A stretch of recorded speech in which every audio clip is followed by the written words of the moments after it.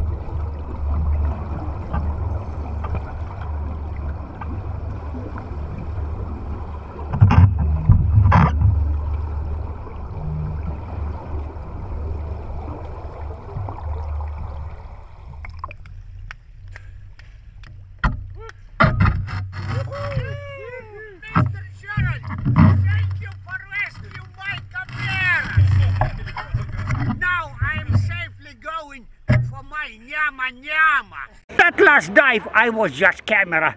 I don't understand. Land camera operator, I cheat. That is a camera, what they pull in comparison with the fins. Well, I appreciate what you do on the video, sir.